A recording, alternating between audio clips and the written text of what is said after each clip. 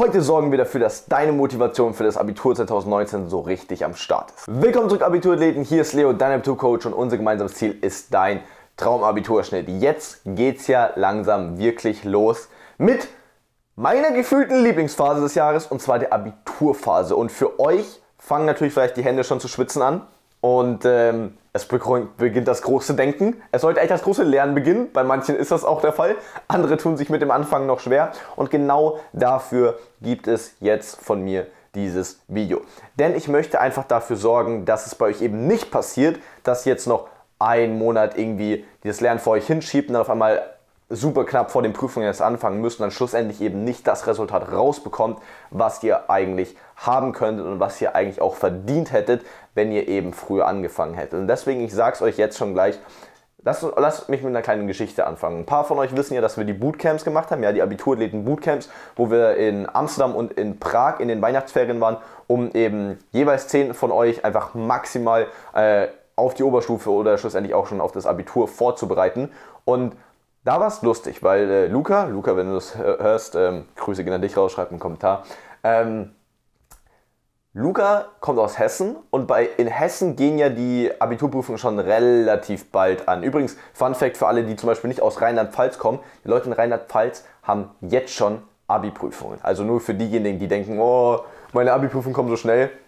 Es gibt Leute, die haben es wesentlich krasser. Auf jeden Fall kommt äh, Luca aus Hessen und in Hessen, glaube ich, ist ja im März, ja, da geht es ungefähr da los. Das heißt, er hatte zu dem Zeitpunkt noch so acht Wochen. Und er hat zu mir gesagt, ey Leo, sag doch mal, wann soll ich anfangen zu lernen?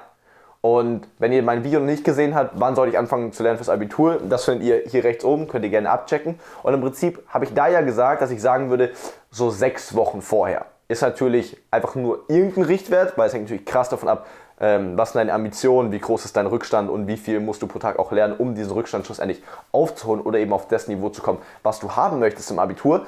Aber ganz grob so habe ich das als Richtwert gesagt. Dann wollte ich fast schon zu ihm sagen, naja, du kannst eigentlich auf jeden Fall, denke ich mal, noch zwei Wochen chillen, weil ich habe ihn ja auch schon ein bisschen kennengelernt in der Woche. Und dann habe ich mir gedacht, so, wie dumm ist das denn eigentlich? Wie dumm ist das denn eigentlich? Weil ich fühle jeden Einzelnen, der sagt, ey Leo, unter Druck entstehen Diamanten. Ich, ich mache das einfach in den letzten zwei Wochen, in den letzten zwei Tagen, in den letzten zwei Stunden, in den letzten zwei Minuten, in den letzten zwei Sekunden. So, und dann wird das schon.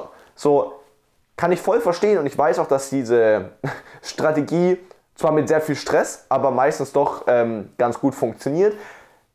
Das Ding ist nur, was mir in dem Moment, als Luca mich das gefragt hat, mir so krass aufgefallen ist, dachte mir so, Moment mal, wie krass ist denn einfach, wenn man rechtzeitig anfängt? Also noch nicht mal rechtzeitig, sondern einfach, einfach noch früher einfach so, also es, es ist mir in dem Moment so krass von den, wie so Schuppen von den Augen gefallen. Ich dachte mir so, Moment mal, so simpel das jetzt klingt, ne? aber wenn du früher anfängst, wenn du früher anfängst, dann kann ich ja gar nichts aufhalten. So, du hast keinen Stress und du bist maximal vorbereitet. Ich dachte mir, wie krank ist das denn? Natürlich, wenn jetzt jemand von euch noch ähm, nebenbei, das trifft ja glaube ich auf die meisten zu, ähm, noch Schule hat, muss man sich das natürlich ein bisschen mehr überlegen. Aber grundsätzlich, Leute, was für ein, also da, sogar ich, wenn ich dann mein Abi zurückdenke, was jetzt auch nicht mehr, nicht, nicht, noch nicht so lange her ist, wenn ich dann mein Abi denke, Alter, der geht mir voll, einfach so dieser Buskorb, der vielleicht von vielen von euch so, uh, so zusammengezogen ist, so fuck, ich muss alles lernen und na, na, na. Geht, geht für mich jetzt gerade auch so da so richtig auf, weil ich mir denke, Alter, wenn ich rechtzeitig anfange, dann steht mir nichts im Wege. Versteht ihr, wenn ihr ausnahmsweise mal genug Zeit dafür hernehmt, für das, was ihr eigentlich machen wollt. Und wenn es gerade das Abitur ist, die wichtigste Prüfung, die ihr vermutlich in eurem Leben ähm, bisher geschrieben habt, Alter, wie geil ist das denn? Und ich glaube, dass das super oft verloren geht. Wie gesagt, ich bin nicht der größte Fan von Motivation, deswegen ist es jetzt auch kein ba Video, sondern ich will, dass ihr ernsthaft, ohne jetzt so, ja, jetzt zieht das voll durch, sondern einfach so in euch so krass versteht, Moment mal, ich wenn ich jetzt einfach anfange, es ist ja vollkommene Freiheit. Versteht ihr? Es ist vollkommene Freiheit. Es ist stressfrei und ihr bekommt das bestmögliche Resultat raus. Wie geil ist das denn? Natürlich weiß ich, dass jetzt nicht zwangsläufig jeder das auch umsetzen wird. Deswegen an der Stelle noch ein paar andere Dinge. Erstens, macht euch immer bewusst, dass es danach vorbei ist. Ja, ich nehme da immer so geil diese, so gerne diese Metapher vom Triathlon bei mir früher. Ähm, wie gesagt, ich habe ja zehn Jahre lang Triathlon gemacht, äh, vier Jahre auf Leistungsebene und da ist man jetzt bei den Strecken, die ich hatte, 57 Meter Schwimmen, 20 Kilometer Radfahren und dann noch 5 Kilometer Laufen, halt alles am Stück, ähm, ist man vielleicht so eine gute Stunde unterwegs, ja, vielleicht so eine Stunde zehn, so in dem Dreh. Und dann ist es natürlich schon so, dass du, wenn halt eine Stunde all in, also volle Kanne schwimmst, ja, und du misst dich da ähm, mit den besten Leuten aus Bayern zum Beispiel in meinem Fall, ähm, fährst mit dem Rad, dann läufst du, dann bist du schon vier Kilometer gelaufen, hast einfach, du bist schon komplett am Ende, ja, so den letzten Kilometer, da müssen alle gefühlt schon fast kotzen.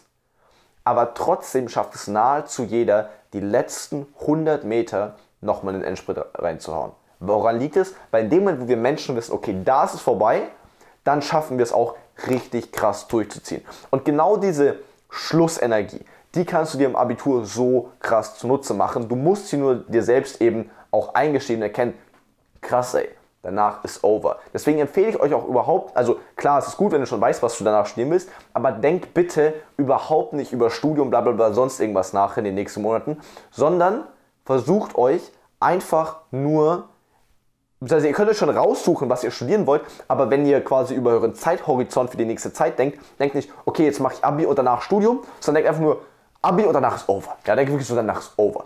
Weil sobald euer Kopf sich abspeichert, okay, sobald ich den Stift in, in der letzten Minute der letzten Abi-Prüfung fallen lasse,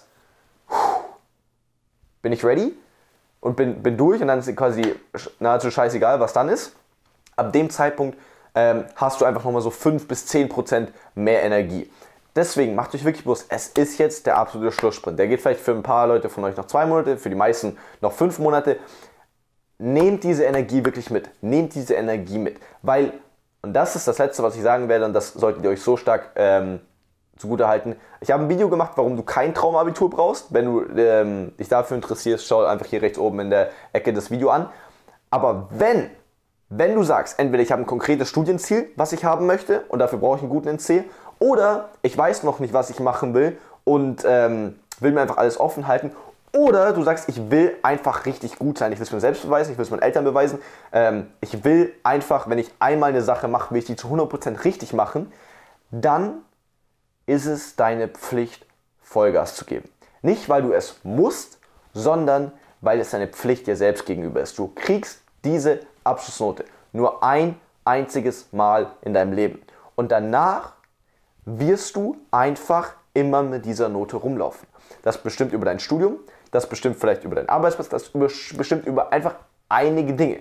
Definitiv nicht alles, aber über einige Dinge, gerade in deiner beruflichen Aussicht, ist das einfach extrem wichtig. Und deswegen verpflichte dich selbst, dir selbst gegenüber, es richtig, richtig gut zu machen. Und wenn dir bewusst bist, dass du nur eine einzige Chance hast, versteht ihr? Eine einzige Chance. Es gibt, du kannst, du kannst einen Freund enttäuschen, bei dem kannst du dich entschuldigen. Du kannst ähm, irgendwie deine Gesundheit drei Jahre lang schlecht behandeln, rauchen, keine Ahnung was. Wenn du dich dann wieder auf einen gesunden Lifestyle ähm, konzentrierst, dann kriegst du das auch wieder hin. Du kannst, komm, du kannst 10.000 Euro Schulden haben, die kannst du auch wieder ähm, wegarbeiten. Aber diesen Abischnitt, den hast du einfach. Und deswegen schuldest du es dir selbst, zu 100% Gas zu geben. Es ist nicht mehr lang und es wird sich lohnen. Glaub mir.